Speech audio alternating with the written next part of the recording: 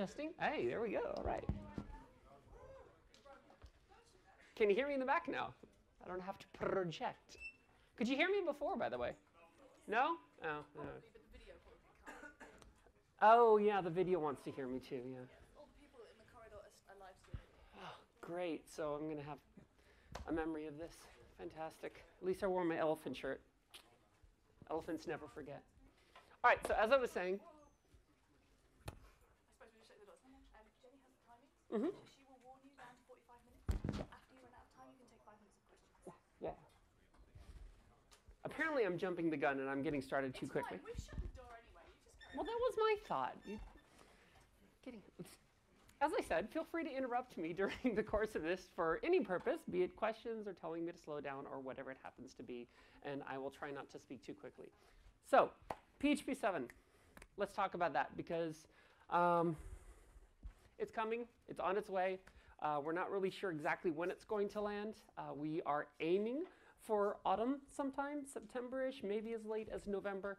Um, I'm expecting we won't actually see it until like April, May of 2016. But taking bets, uh, giving good odds, we'll see where that lands. But before we talk about the future, we need to talk about the past a little bit because some of you are living in the past. And it's time to come into the light.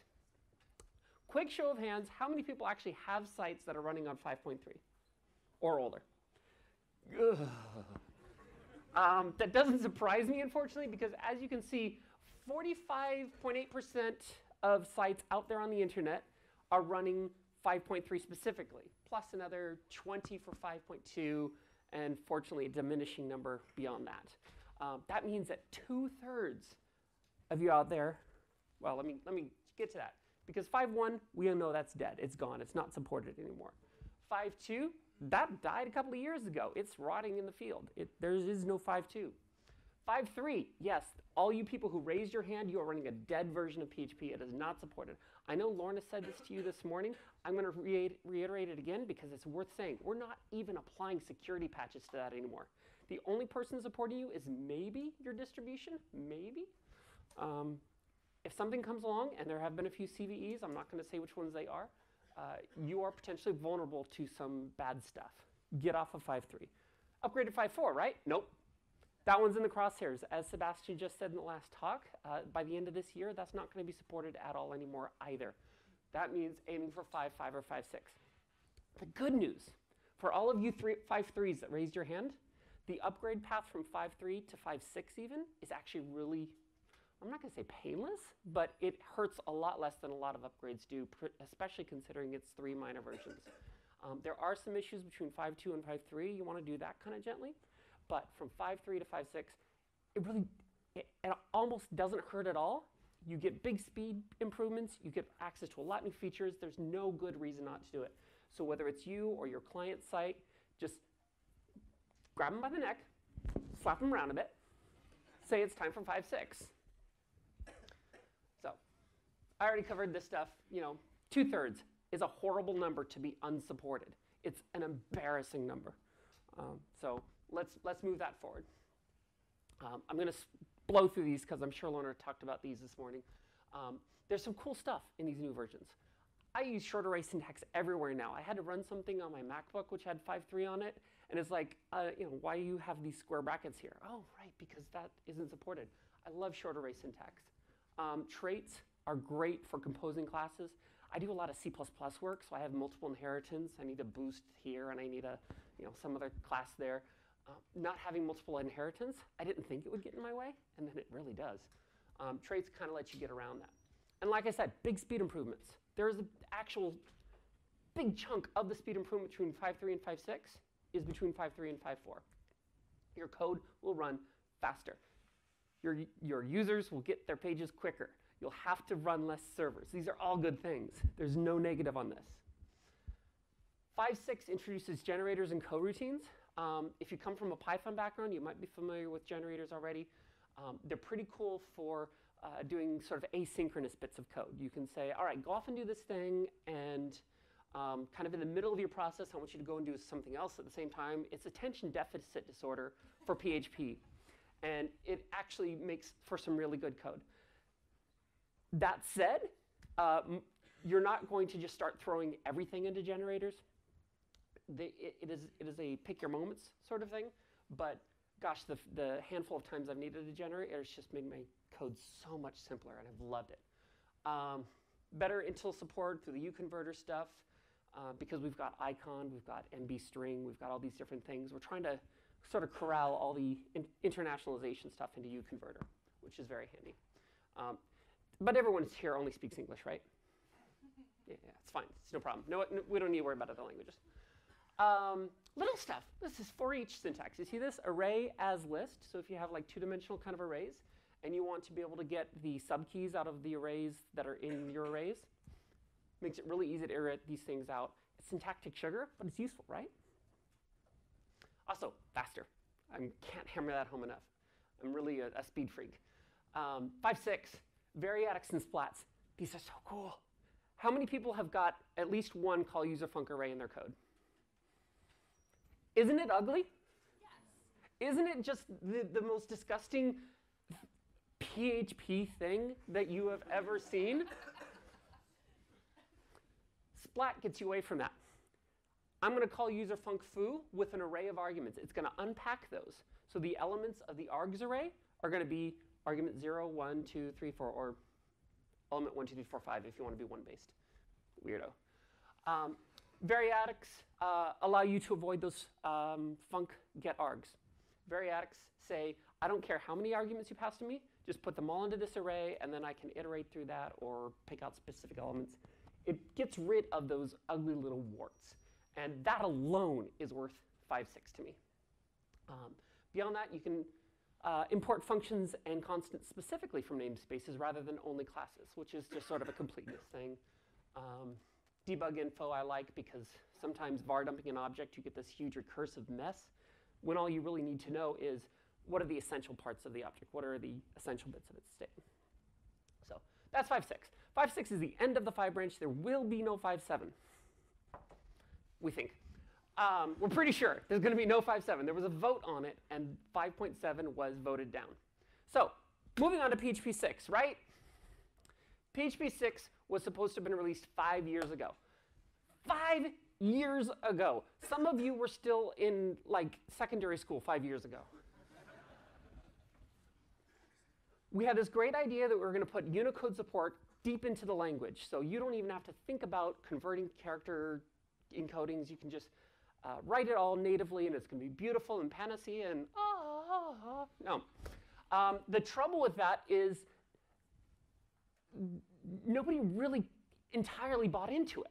Like nobody was saying this is a problem that that I need to solve. It was more like, well, academically pure. We need to look like languages like Python or something that always use, you know, full in Unicode integration. Um, we need to be a better language. It was well intentioned, but like the um, the blossom of XML support that came right before it, it was it wasn't driven by need. And PHP is all about being driven by need. It's about the open source process, really. And what a place to talk about open source, right?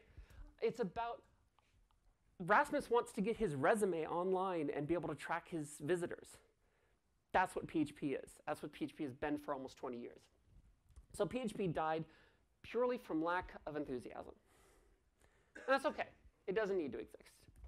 So, but PHP 6 was enough of a thing. It was in enough people's hearts because a lot of people did put a lot of work into it to try and make it that academically pure thing that we sort of feel like we need to retire its jersey. It's like a football player who's, you know,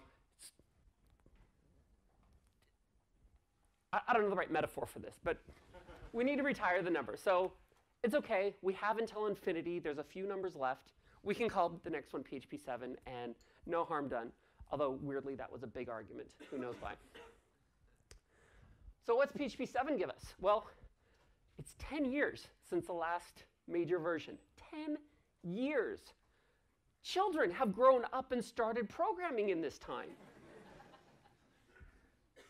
what are we doing? Well, a lot of these changes that we're introducing in 7 have to do with uh, sort of the internal workings. Nothing you're going to really see as, a, as an uh, end developer of the language. The, uh, what did I want to say at this point? Oh yeah, the, uh, the variable model has been completely redesigned. This is a very positive thing because it means that we're about twice as fast as PHP 5.6 was. Let that sink in. But it also means that on any extensions you depend on, like maybe say Xdebug or uh, um, any profiling tools, uh, maybe that database connector that you need access to, they're going to break, so they need to be fixed. Um, we're also adding uh, some things you will see. Return type hidden have actually been approved and merged, so you can now say my function will always return a array, or it will always return an instance of this particular object, which is good for you know editor integration to make sure your code has a nice clean quality to it. Um, everybody's happy. Little stuff, Unicode escape sequences. We don't need deep Unicode integration. We have UTF-8. Anyone not using UTF-8 as the internal encoding for their application? No, because UTF-8 is the language of the internet. If one system's got to talk to another and it needs to use something other than ASCII, why would you need to use anything more than American simple code for information interchange? Um, UTF-8 is what you talk. So we're just going to say, this is good enough in terms of deep integration because this fixes the job. This scratches the itch. This gets something done. And that's PHP's way. Um, but Yes, it will. Um, 236BA will translate into a 4-byte UTF-8 sequence. I don't remember the exact bytes off the top of my head. Um, anyone want to guess what 236BA is, by the way? Snowman. No, it is not Snowman. Snowman is in the basic multilingual plane, ergo you would only have four hexes. It's two something. I forget the exact number, but yeah. So so what about the support for uh script encoding and internal encoding, we're actually unifying. Uh, the question is, what about the uh, support for script encoding and internal encoding? Um, we're actually going to unify those into, um, we hope, a single setting. Um, that's not quite settled down yet. Um, there's, it's a little bit too spread out between MBString's notion of, an, of a script encoding versus ICOM's notion of a script encoding, that sort of thing. So we're going to unify that into a single thing. And um, in terms of these escape sequences, it doesn't matter. Backslash u, curly brace hexets, and curly brace is always UTF-8. Um, those settings really only matter, gosh, where do they matter? Um, I think they, ma they, matter in terms of defaults to things. Honestly, I'm not sure. For my applications, because I do write some PHP code sometime, the script encoding is UTF-8. And I don't have a good reason to change that. Um, we can look into that. We can figure out why that's used. A uh, few more things. We've got uh, some more internationalization support through the IntlChar class. Uh, this is mostly introspection kind of stuff. How you translate 236BA into Cantonese for small chicken. Um, if anyone knows my username, Pollita, that's the connection because Pollita means small chicken in Spanish. Um, coalesce operator, this is sort of like your if set or ternary, except we are actually doing empty checks on the variable. So we say, if request foo is not even set, that's not going to create an error. It's just going to say use the default. Otherwise, use the value of request foo. Um, this is a really common pattern. I know lots of people use in their code all over the place, so it's really handy. Um, and then some spring cleaning. We're getting rid of a whole bunch of old stuff. Uh, I'll go into the specifics, but like MySQL and eReg are actually gone uh, in terms of bundled extensions. If you're still using the base MySQL extension, then you have some very old code. It's probably time to look at MySQLi or PDO, use some prepared statements. I'm sure somebody's done a discussion of security by now to tell you why that's a really good idea. Uh, because it's a really good idea to use prepared statements. Uh, there are new things that haven't even been agreed upon yet. These are things that are basically on the RFC list. You can get to that URL at the bottom and see the whole list for yourself. It's pretty long. Uh, these are sort of the highlights and some of the more likely to pass things. Um, so grouped namespace using, uh, instead of having to say, in this case, use foobar A, use foobar B as C, use foobar C, um, you just say use foobar and then these specific classes, functions, or constants within that namespace. And it allows you to do nice grouped importing. Uh, makes your code look cleaner and nicer. Scalar type hints. Can I get a quick applause for scalar type hints? So we've had some type hint support in PHP for a long time. You can say function takes an array or an instance of a class or a callable. Um, this completes that picture by letting you type out ints and strings and things like that. The reason PHP hasn't had this for years and years and years is because we can't agree on how it should behave. what happens if you call this foo function and the first argument you pass in is a numeric string? Is that really an int or is it a string? Should we error or should we just coerce that to a number? Quick show of hands. Who thinks we should be strict about it and error? A lot of people. Who thinks we should coerce it into a number and just continue? Smaller number, that's interesting. Um, but that kind of demonstrates that. Uh, on the internals list, we just can't agree on that thing. And what uh, Andrea Faulds has come up with, I think is a very clever approach, is that it will default to coercive, which means it'll just turn that into a number, but you can put a declare statement at the top of a file, so it's on a per file basis, and say, um, declare uh, strict params equals true, or something like that. So that for those calls, they are, they are strict. And I think there's going to be an INI setting for it as well. So on an application level or whatever, you can say, I want them strict. And this is at the call site that that's determined. So foo can be called from one context in a strict mode and another context in a non-strict mode. Library authors can be really strict, but still allow people to call them coercively. Everybody's happily, in theory. Uh, we'll see how far that actually gets. Uh, PHP4 constructors almost certainly going to go away. Anyone still using PHP4 constructors in their PHP 5 code? Good. Okay. Those, those should be dead. You should be using under under construct. Uh, native big integer support. Um, if you're on a 32-bit system, you know this problem intimately because fast, past about 4.2 billion, you convert to float, you start losing um, significance in your values. Even on a 64-bit system, you're limited to 16 quintillion. Um, big int will let you go out to an arbitrarily sized integer, and it'll actually be treated as an integer everywhere it moves around the system. Um, this is going to cause, this is going to create um, a need to modify some extensions a bit, but hopefully not too much is the idea. Um, named Unicode sequences, these will just go with the you know, backslash u, so you can actually say, I want a snowman here, makes your code easier to read. It's nice. Um, and the spaceship operator, uh, Davey's personal favorite. Um, this is sort of similar to the strcomp function, where it'll return negative one if the left hand is smaller, positive one if the right hand is smaller, or zero if they're equal. And I might have those backwards because I always forget. Um, it's the less than, equal, greater than. It looks a little like a flying saucer seen from the side. Um, so that's a possibility. Um, all cool features, I think. And somebody is calling me, seriously? Um, so what's actually happening on the inside? Because these are the parts that, sorry, these are the parts that really interest me. Um, the stuff that's happening internally is the stuff that I get really excited about. Uh, PHP 5's notion of a zval, or the sort of the, the internal representation of a variable, has four units in it. One is to say I'm a particular type, and for that type, here's my value. I'm either a reference or not a reference, and here are my ref counts. Every variable in PHP 5 is ref counted in some way, even if it's a non-reference variable. This is our copy on write thing, um, and prevents us from having to duplicate too many things. Like if we cut a equals some string, b equals a, you don't want to have to duplicate that string. This works fine. It works great, in fact. It makes a very flexible runtime. Um, but one of the problems you run into is that when you switch from a 32 to 64-bit system, you have doubled your memory requirement pretty much across the board because you have to store twice as much for every single variable that you're passing around. Um, this also causes some problems in how we structure array containers.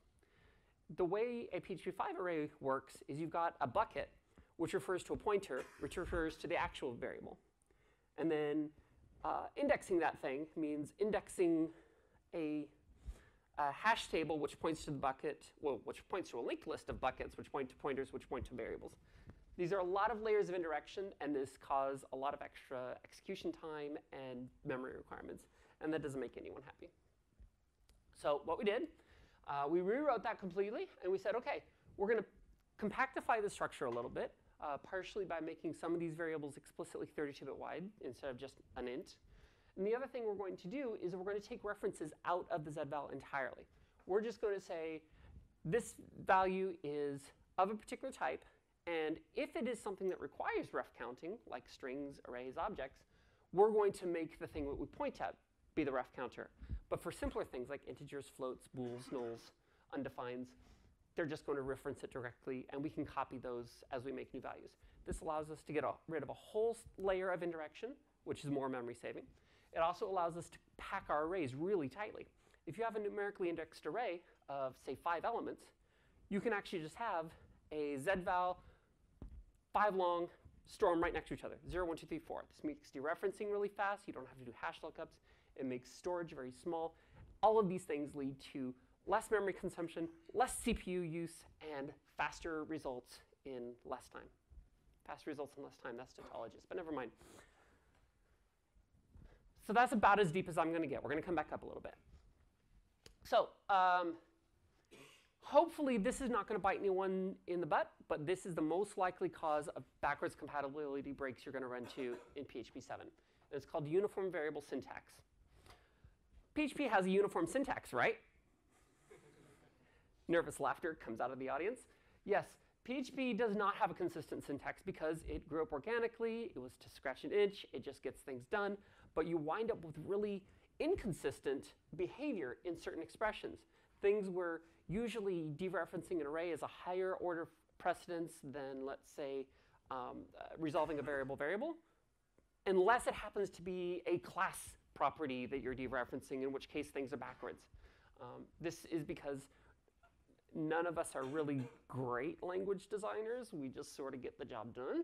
Um, so what we're doing is we're going to say, all right, it's time to it's time to wash that out. It's time to just say, let's, let's declare a breakage. We got a nice major version to that. So what you've got here is a few expressions that you might see in code. Um, hopefully not too much variable variables, um, too many variable properties, things like that. Their PHP 5 meaning versus their PHP 7 meaning. Um, these are detailed on the uh, RFC page for this, which is wikiphpnet slash RFC slash uniform underscore variable underscore syntax. Um, you can see them for yourself, but um, as you can see, if the meaning changes, then your program flow changes and things can actually break. So hopefully somebody's going to work on a linter that can look for these sorts of things and warn you about them. Uh, it's certainly easy enough to detect. Do a token get all, run through them, see if you see that pattern. Uh, this is likely to be your only significant BC break uh, that's going to cause you headache and sleepless nights. Uh, there are other breaks. I mentioned the extensions. Uh, every extension is going to have to be touched at least a tiny bit because we are removing those layers of indirections. We don't tend to deal with zval stars. We're now just dealing with straight zvals. Um, our uh, loop, uh, our array iteration has completely changed, so you're going to have to change those.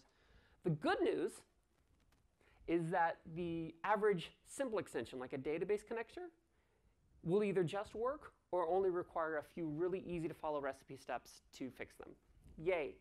The bad news is, at last check, Xdebug, Xdebug had at least 18 pages worth of errors on the first compilation unit. So Derek's going to have a very fun time fixing that for PHP 7. Um, it is most likely going to be a whole new project like Xdebug 7 or something like that. Uh, you can look at the whole list of things that have been deprecated. Like I mentioned, MySQL, eReg, are going to be taken out of core. They still will be available in PECL, so you can get at them, so no big deal. Um, preg replace with eval, you probably shouldn't have been using that anyway. Preg replace callback is your friend. Um, create function, definitely not your friend. Uh, we have closures for that sort of thing. Um, handful of deprecated functions. New by reference is going away, and that's actually kind of annoys me because that's not as benign as lot, I think a lot of the people who voted for that think it is, but eh, whatever. So, bait and switch time. I've talked a lot about PHP 7, how we got there, and what's changing and what's not changing. I'm going to talk about hack a little bit because I think the future of PHP 7 is going to include some pieces of hack. We've already seen that happen, actually. Um, hack introduced uh, return type hinting and generators and things long before they got into PHP. Um, one could argue they either came from HHVM or they came uh, independently. A good idea is always a good idea. I will tell you return type hints almost certainly were a result of encouragement. And the speed improvements in PHP 7 were almost certainly cribbed slightly from, uh, from HHVM because these, they basically mirror our types exactly, um, which is coincidental. So I'm going to talk about a few of those things. Uh, Facebook has this runtime called HHVM, it is a drop-in replacement for PHP. And apart from running PHP code, it also runs something we call hack code. It's a horrible name. It's hard to Google. I'm sorry.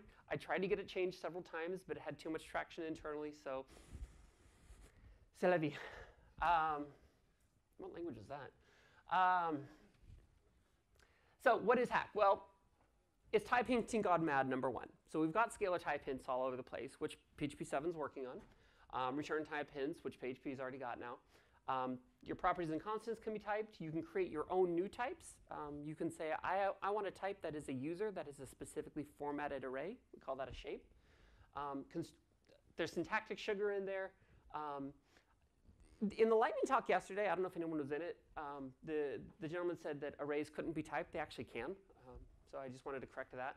Um, and then there is a static analysis tool. The great thing about the static analysis tool, and you can even use this in your PHP code to a certain extent, is that without having to run your code and make sure that it works right in all possible situations, it's actually going to trace the types all the way through your application and say, hey, this thing from this first entry point file was a string, but you're trying to use it eight includes later as an integer. That's going to fail you.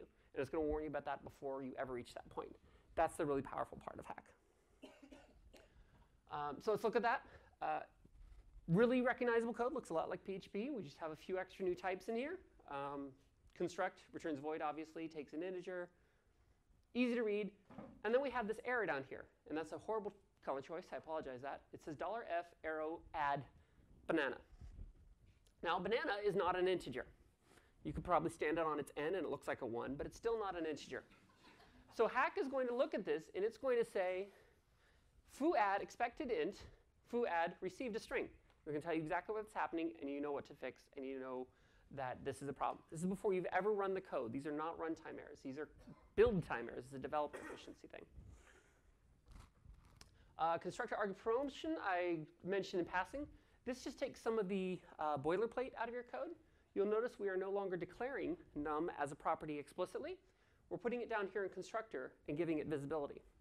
So when the constructor runs, it is going to declare a private integer on the class, and it's automatically going to assign its argument to its value. So you get rid of that ugly boilerplate. Uh, generics allow you to do some type erasure through a class definition. If you're come from Java, you've probably seen this. Um, you've seen it to a certain extent in C++ with templates.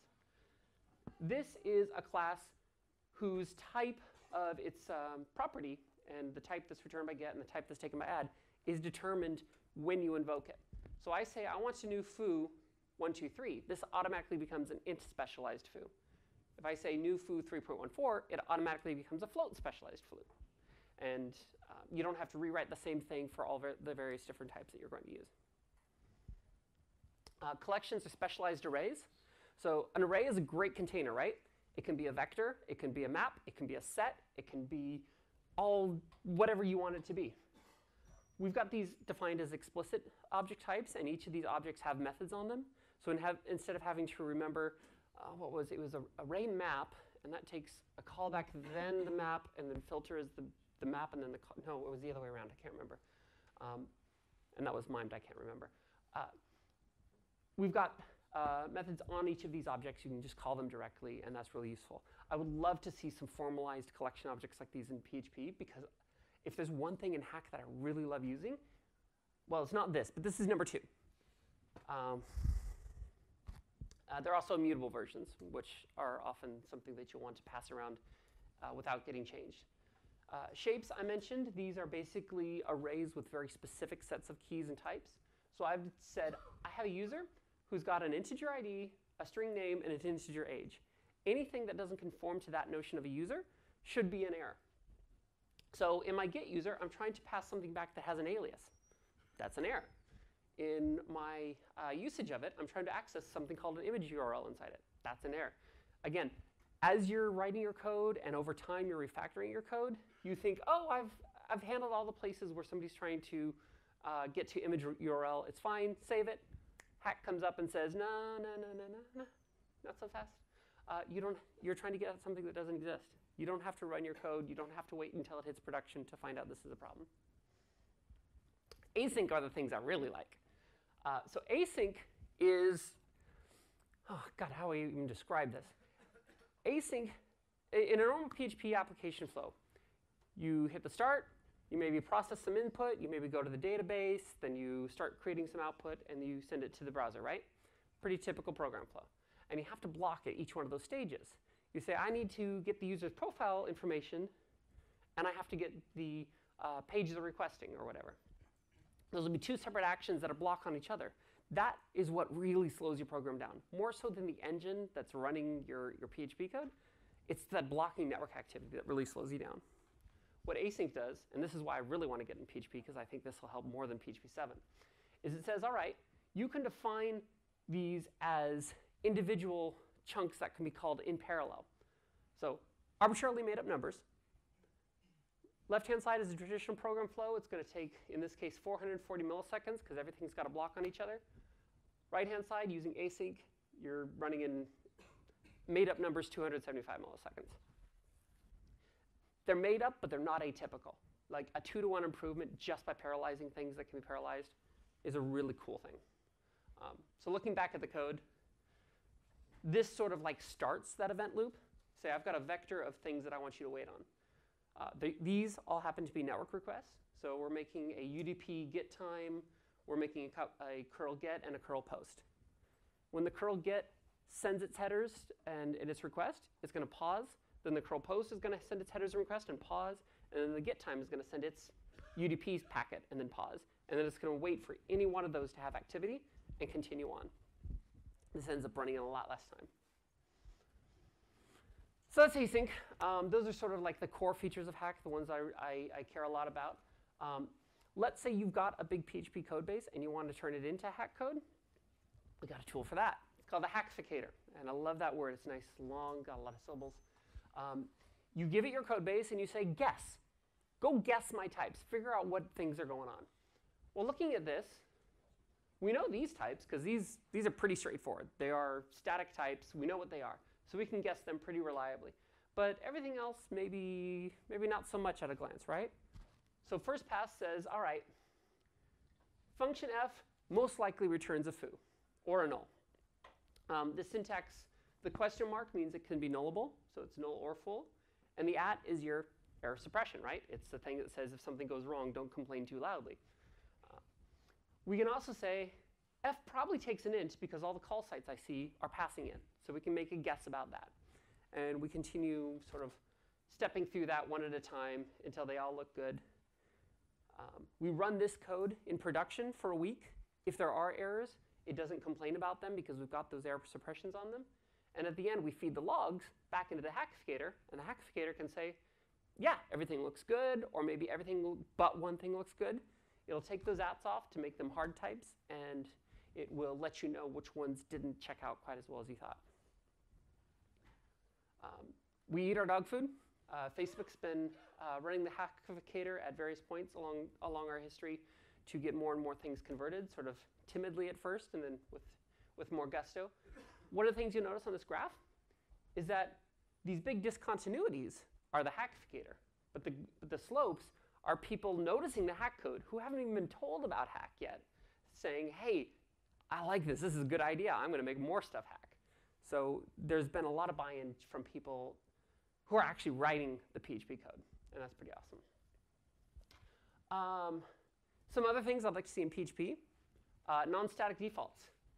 So if we call the greet function with no parameters, the name is actually going to get its default from a function call.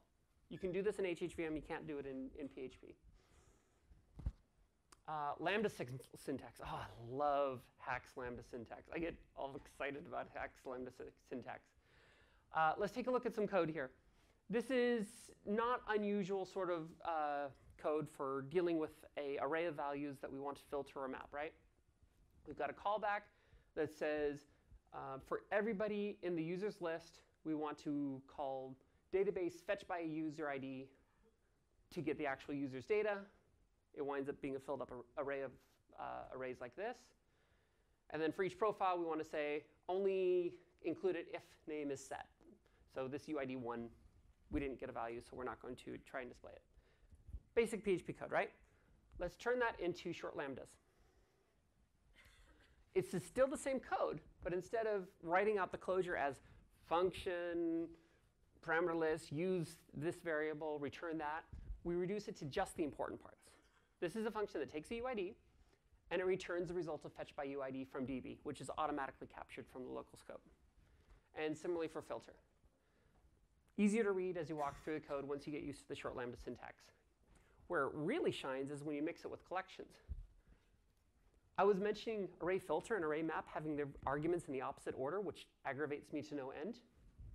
Because how do you read this at a glance? How do you look at that and say, yeah, that's my input array, and that's the result of that map operation, which happens first, and then the filter operation that happens second? Well, in hack parlance, we have a vector, which has an, a method map, takes a callback, which returns a, a map that you can then filter, which takes a callback.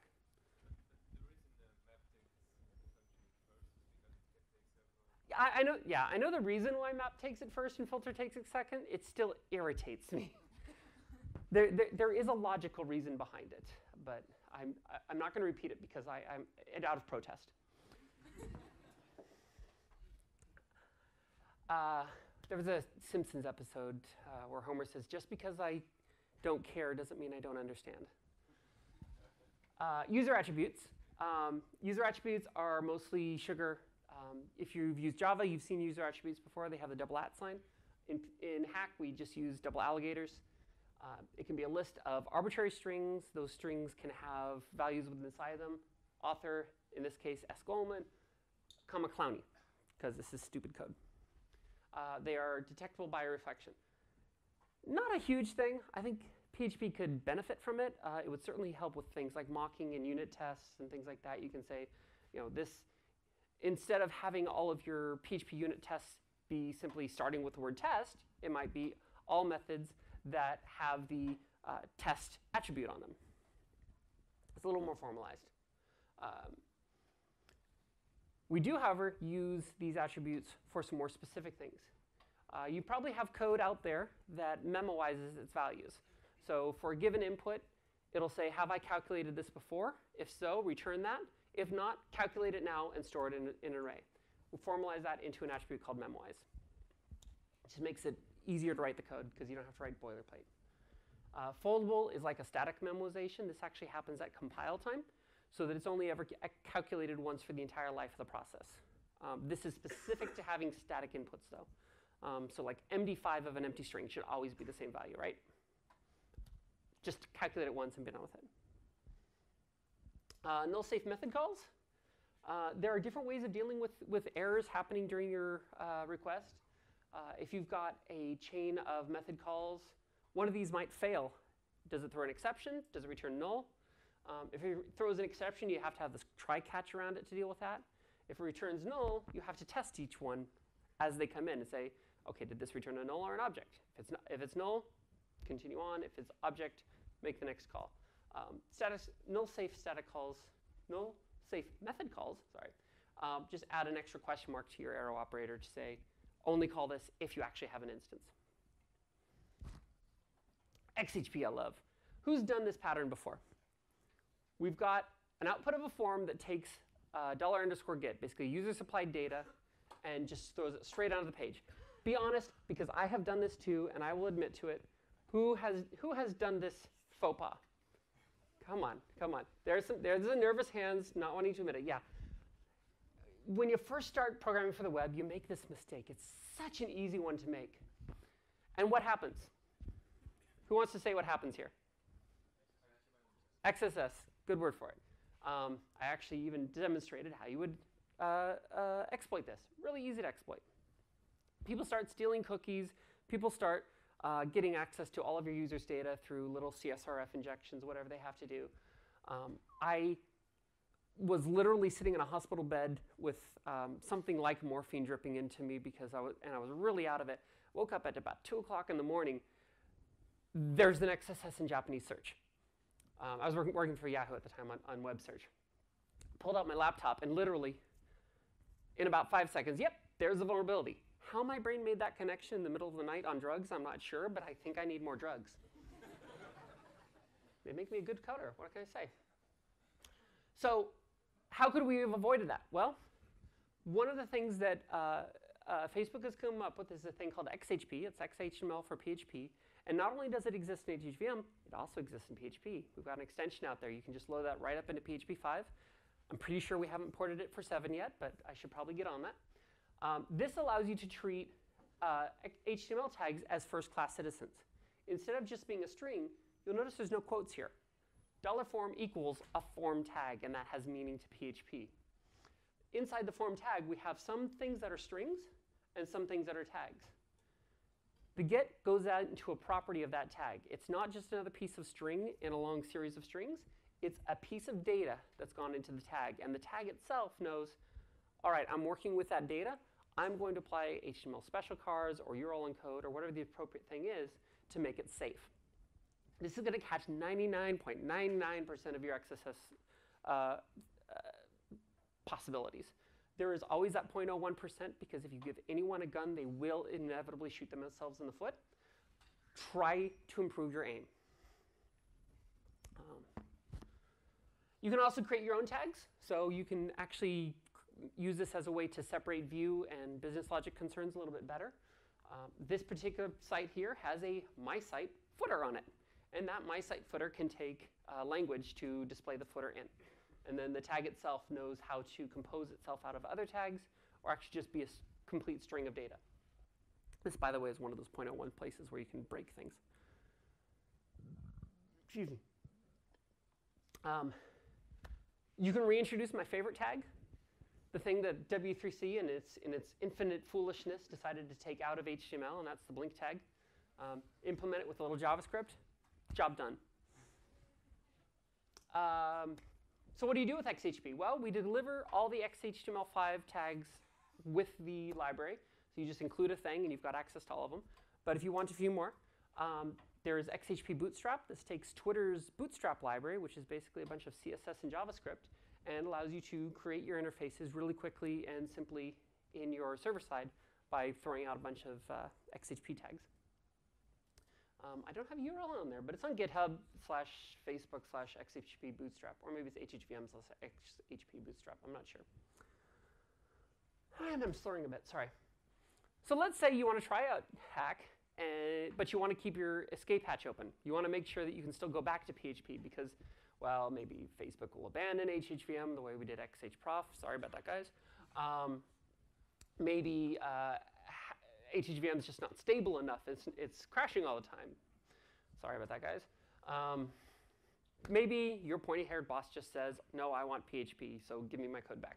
We've got the dehackificator. It'll look at your hack code, and it'll just say, ta Here, have some PHP code out of that. We're going to get rid of those collections with our fancy syntax. We're going to map these method calls into regular arrays. We're going to get rid of type hints that don't make sense.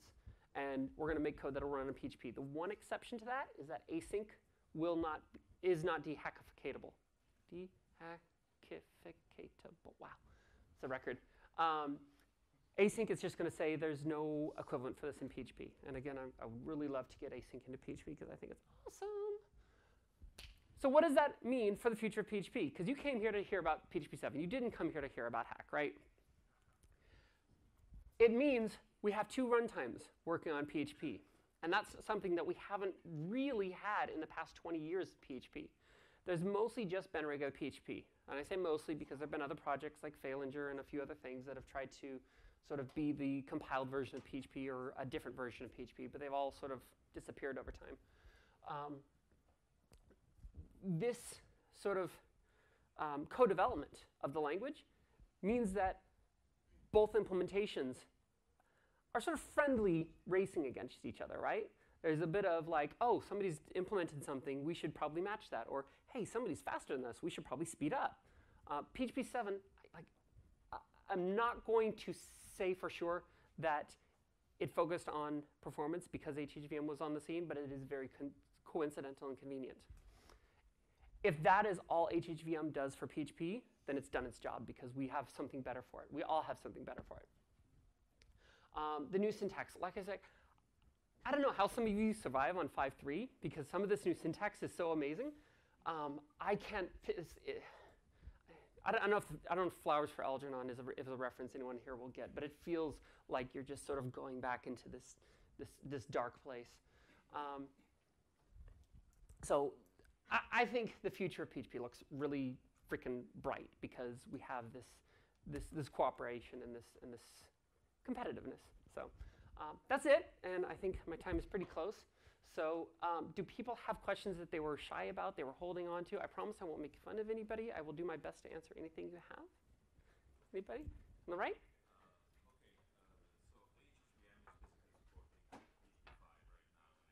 Mm-hmm.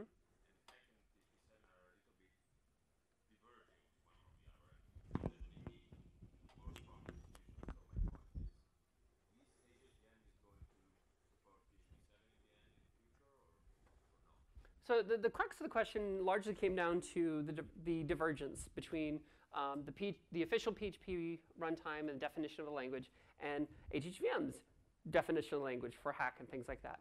Um, and how close are we going to try to keep together and, and, and continue to support things so that there is one PHP language and not many PHP languages. Uh, the short version of that is that's actually why we have two separate languages. Um, something that may not have shown up quite as clearly is this open tag, less than question mark HH. This denotes it as really a separate language.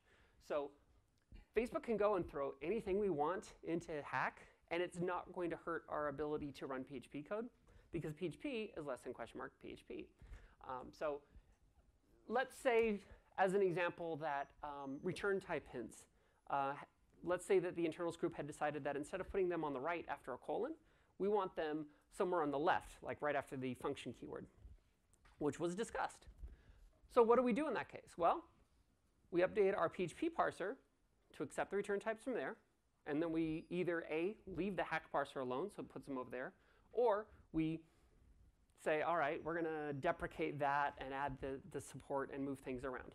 Um, that's kind of on a case by case basis, but the bottom line there is that having hack as a separate language with separate features doesn't prohibit us from matching PHP. And I personally, because I have, you know, I've, I've, I've got dogs in both races, like I want, I want PHP to thrive, and I want HHVM and hack to thrive as well because of the, uh, the alternatives they provide and the incentives they give to PHP. So, in my selfish interest, I want to keep them as close together and I want to avoid those divergences. Sorry, was there a hand over there? I can't really see. There you are.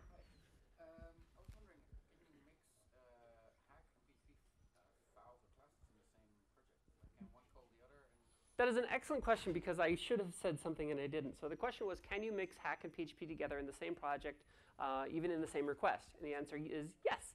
Um, so let's say that, um, let's say this was just defining the say hi method with all of its typing in here and it's in a hack file. Can we call that from PHP? Absolutely. When we get to PHP, um, you know, we're in a regular PHP file. We're calling say hi. We do need an instance of the map object, which you can still get to with new map. Um, this is probably a bad example since it takes a collection. But yeah, I mean, they, they all exist in the same runtime, the same process space. Um, the specifics of how that runtime is operating is going to be set on some INI variables, but they're absolutely interoperable. The trouble you run into is when you're trying to run the static analyzer to check all your types. Um, if you've got a mix of hack and PHP code, the PHP code is basically opaque. It doesn't know what types are supposed to go in because nobody's told it. So um, you don't get the same uh, benefit out of running a mixed mode, but you absolutely can run a mixed mode. Um, and I mean, we talked about this uh, hackification process at, at Facebook, somewhere back here. We only converted 10% of our files to hack here. Does that mean that we have a completely separate site that's only hack and 90% site that's running PHP? No, it means they're calling into each other. So it, it was all about gradual typing and gradual conversion. Well, for the question about the divergence, hmm it might be useful to mention the uh, PHP language specification. Thank you. Sorry, I'm, I, as he was asking the question, I'm thinking I should mention the specification, and I completely forgot to. So, um, yes, uh, last June, um, I'm not going to repeat the question because it's more of a suggestion than a question. Uh, last June, uh, we released a specification for the PHP language. In 20 years, PHP has never had a formal specification. It's just sort of like, well, if it runs on PHP, then it's valued PHP.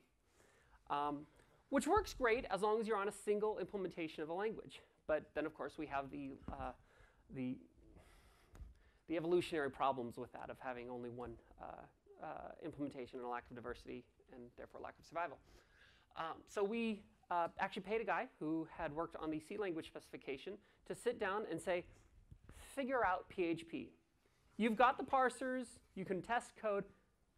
See if you can make sense of this. Um, he went to an insane asylum. Um, no, uh, that actually went okay, but he did sort of have a lot of head scratching moments, um, which usually came to me because I have the experience with the PHP runtime. And I just had to say, yeah, yeah, that's, um, yeah, if you, if you, yeah, no, sorry, yeah.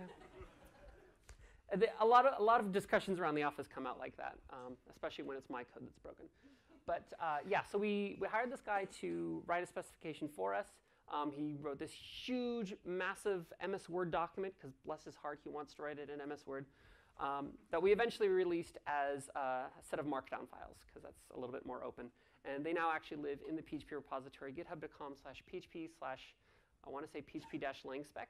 And that has since been an evolving document. We've actually branched that for PHP 7, I think, I hope, um, and have been adding all of these things like um, Unicode literal syntax or, or whatever else it happens to be, or, return types.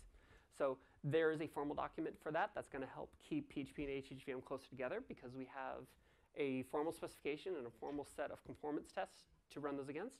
Um, these was written for PHP, so HHVM does not pass all the tests that we wrote for the spec because it's, at this point at least, our job to catch up to PHP, not PHP's job to conform to us.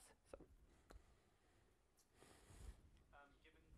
that XHP is XHTML for PHP, does that mean that it gets upset if you don't do things like self-closing tags? So the question about, um, given that XHP is XHTML for PHP, does it get upset if you don't do things uh, like close your tags? Um, it is not HTML transitional. It is XHTML. So yes, you have to close your tags. Um, I had an example, I think, of an image tag in there, and it did have the forward slash close alligator bracket at the end. Um, yes. Um, which I think is a good thing, to be honest. Oh, uh, along the wall. Okay.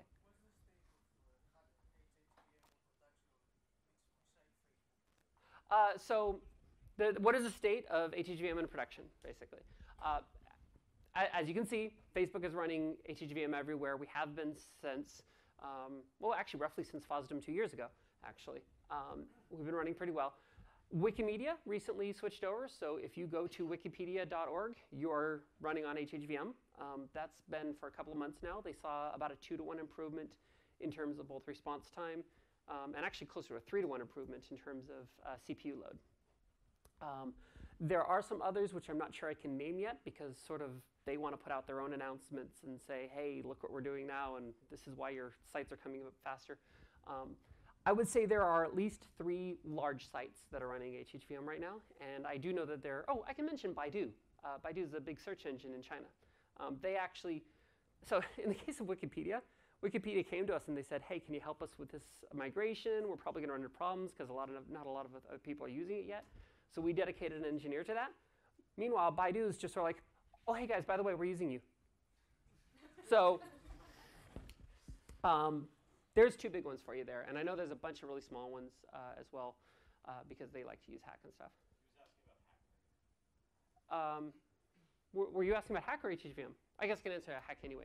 So there is a uh, there is one public framework, well, two actually public frameworks out there. One's called Titon, uh, which is entirely hack driven, and another one is called Pocket Rent. Um, I don't know much about them to be completely honest, but I know that they're out there and they're used by at least their project authors. Um, I know that Wikipedia is not using any hacky yet, but I believe they're planning to, um, and I believe that's true of Baidu as well. Um, yeah. Okay.